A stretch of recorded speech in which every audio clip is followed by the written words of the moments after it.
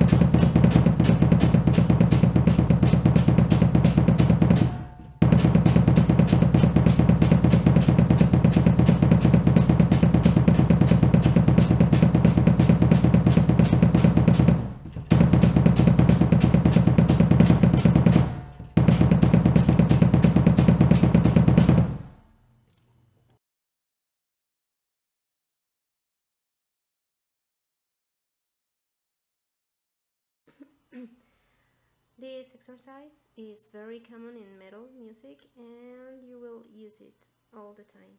It's very very basic. So here's the difference.